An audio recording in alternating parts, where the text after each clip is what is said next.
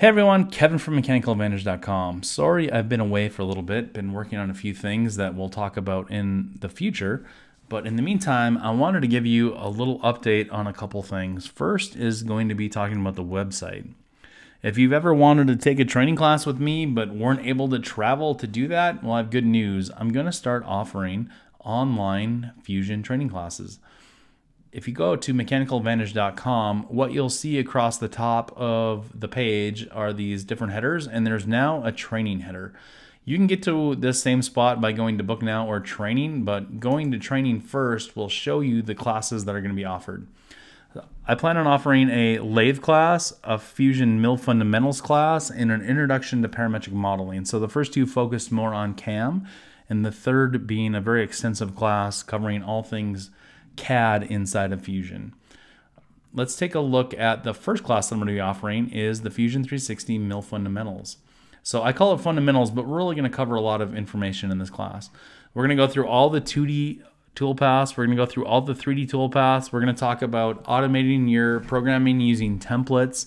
We're going to talk about patterning. We're going to create tool libraries. We're going to go through all those kinds of information. So if you ever uh, wanted to get started and really get a comprehensive look at CAM inside of Fusion for Mill, I recommend you go ahead and take a look at this class. The, uh, the class, if you want to sign up, it's going to be 695.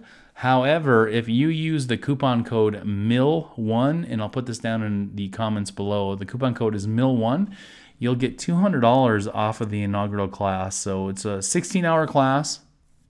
Um, I'm going to offer two sessions. I'm going to do a morning session and an evening session. So for the morning session, people that sign up, it'll be from 8 to noon, Monday through Friday, Central Standard Time. And for the evening session, it's going to be from 5 p.m. to 9 p.m. Central Standard Time. Again, four hour chunks. And I really like the four hour chunk format. Uh, it, you don't get so overloaded with information. It's because we're not having to travel, we can spread out uh, our time a little bit without having to, you know, be as productive we can in two hour, eight hour days. And the other thing I like about this is you don't get so far behind in your regular job. Uh, you can still catch up during the day and not fall so far behind while you're learning more about Fusion. So again, uh, use code MILL1 for the inaugural MILL class, and that will get you $200 off. I was going to push this class out until February, but a couple people found it and signed up for it. And so we're going to go ahead and run the January class. So hopefully some people are interested. It's going to be capped at five people. It's live instructor based, and I'm going to be the one teaching the class. So um, you'll know what you'll be getting there. So that kind of wraps up the training side. If you have any questions, please shoot me an email or leave them in the comments down below. And my email address that you can reach me at is info at mechanicaladvantage.com. Now, what I want to do is walk out to the garage and show you some things that have been happening out there. So this last week, the electricians were able to come over and they got the phase converter installed for me. So what we're looking at there is a couple three phase panels and the electric heater, which is quite important in Minnesota in the wintertime. So you can see it's all wired in. It's run over and connected to the machine. And then if we kind of look down here, there's the motor for the system that adds the three-phase power and the transformer sitting down below the machine. They have also run a, a circuit for the air compressor that will go and sit somewhere down right here. Unfortunately, with COVID, it's become difficult to order the phase converter, or I'm sorry, the air compressor I want. Um, as of Friday, I ordered my third air compressor and I just checked my order and that was also back ordered. I'll throw a little information up on the screen with the compressor that I'm gonna go with here, but I chose to go with an Eastwood scroll compressor. Um, it's maybe got a little bit more capacity than what I'm gonna need, but the thing that was really important to me was the noise and it's rated at 63 decibels, I believe. 63 or 69, somewhere in that range. It's, it's pretty quiet though anyway. So let's come over here and take a look at uh, how this situation is set up. So this is the AOL 15 uh, phase converter from American Rotary. It's their UL listed version and we decided to go with that thinking that would make the process of getting my inspection taken care of and certified a little easier to go. This was all done by professionals, so I didn't do any of it. So basically what I have to come out when I want to use the machine is I'll come over here, flip this breaker on, Now if we look down here, you probably can hear it, but now the uh, transformer's running. And I just come over and hit the start button and that fires up the motor. So we're all good there. We'll come back over here and we're at the machine now. And all I have to do is hit the green button and that starts to fire the machine up.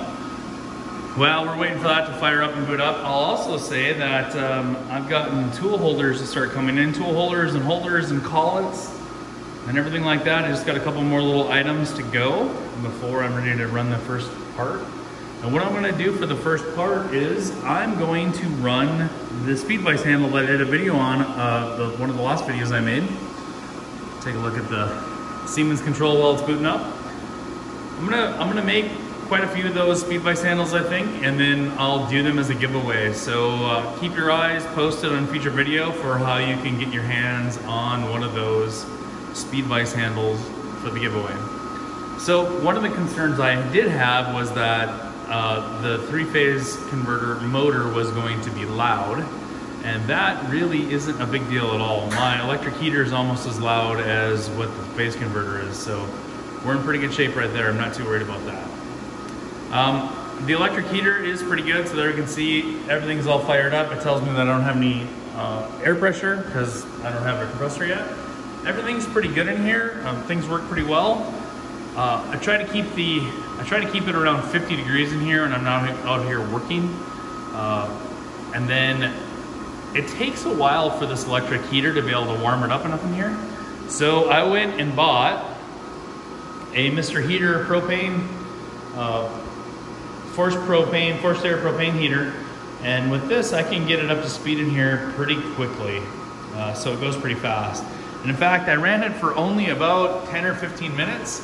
See if you can see this number up there.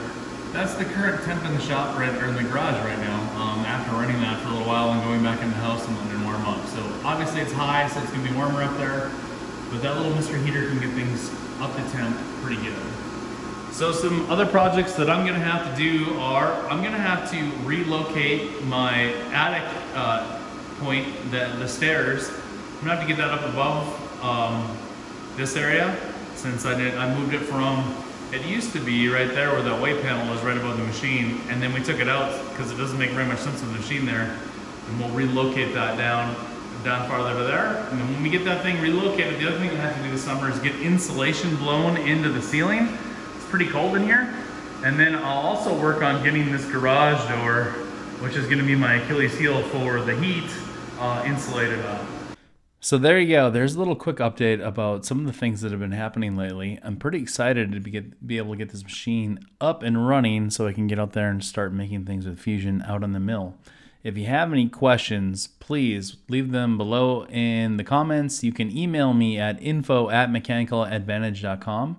And as always, thanks for watching.